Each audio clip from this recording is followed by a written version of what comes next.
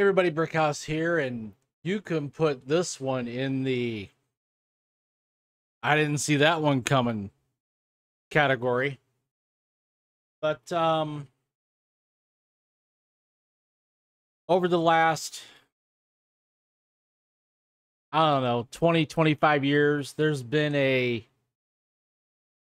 a rush to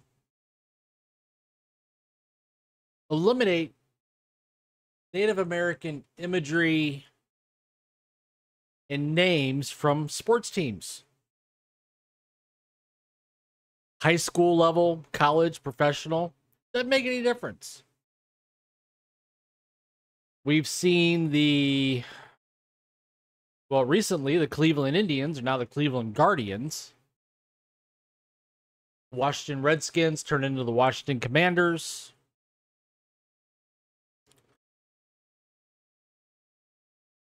I know the North Dakota Fighting Sioux have changed their name. Really popular hockey. Just saying. Um, St. John's Redmen became the Red Storm. Uh, University of Ohio, not Ohio State, University of Ohio. They were called the, I believe they were called the Red Men then became the Red Hawks. Um, little closer to home, University of Illinois Fighting Illini. They had Chief Illiniwek as their. Um, I'm not gonna call him a mascot because he was not a mascot. He was retired in 2005 because of the NCAA. Now, what all these things have in common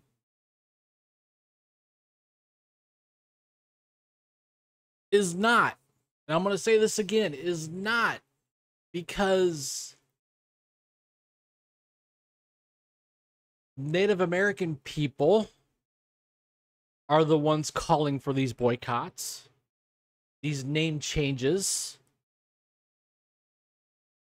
It's a bunch of white liberal progressives who have nothing to do with their time but to be perpetually offended by everything. They're the ones who pressure these teams, these organizations to change their name because they're offensive. But when you pull Native American peoples,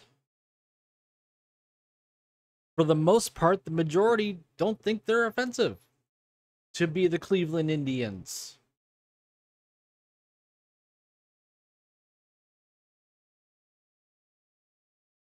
Chief Illiniwek as the uh, symbol, the official symbol of the University of Illinois. Why do you think the Florida State Seminoles are still the Seminoles? Because the Seminole Nation supports it. Of course, with a little donation from the university, but I digress. So to see this one come was quite a surprise. Native American group threatens boycott if Washington Commanders don't change name back to Redskins. Say what? A group of Native Americans is threatening to boycott the Washington Commanders unless they change their name back to the Washington Redskins. The Native American Guardians Association, NAGA, posted a meme to its ex Twitter account with the message to educate, not eradicate, and wants the team to go back to its original name. I bet the white liberals are kind of PO'd right now. This was on their X or Twitter or whatever you want to call it. Native American Guardians Association founder and president Eunice Davidson sent a demand letter today to the Washington Commanders ownership and key leadership formally requesting the team to revitalize its relationship with the American Indian community and rightfully change the name to Redskins.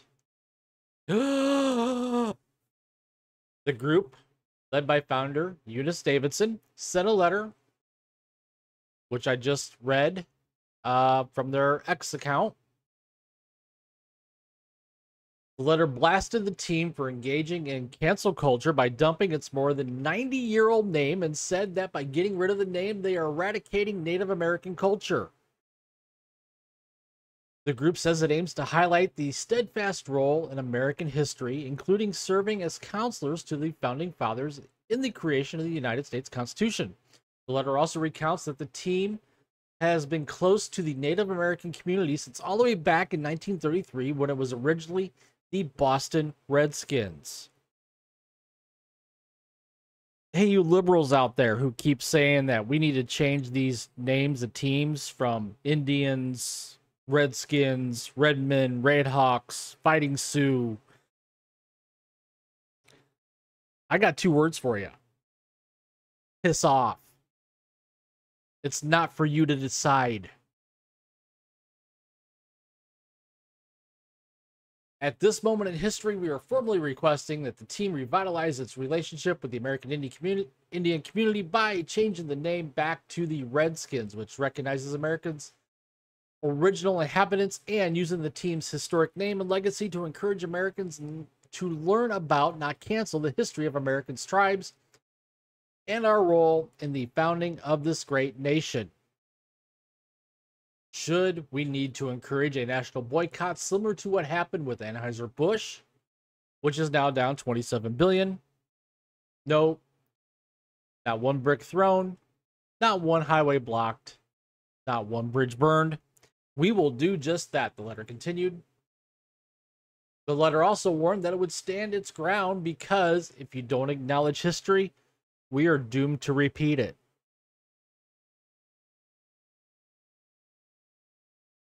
Hey, hey, you guys with short attention spans?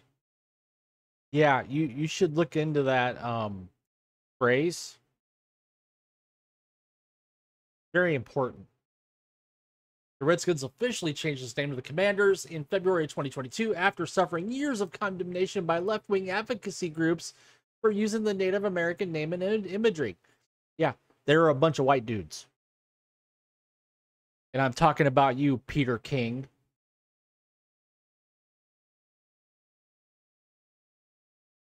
The group also protest or also posted a tweet slamming the state of New York for steadily erasing the Native American based names of high school sports teams. Not only high school teams, but college teams too. So there you have it, folks. Native Americans, as I stated at the beginning of this video, and you can fact check me if you want, but this goes back 20, 25, 30 years. Native Americans aren't opposed to the name, image, and likeness of Native American symbols, Native American names used in sports franchises across this country. Again, it's a bunch of white dudes that have nothing nothing better to do there on, on their hands but to be hand hand wringing and and offended by something that has nothing to do with their heritage. So I'll leave it to you, the audience. Comment down below. Tell me what you think. And while you're at it, please take the time to smash that like button. Subscribe to the channel if you haven't already. Hit the notification bell to get notified when my content becomes available here on YouTube. And as always, thanks for watching, and I will see you later.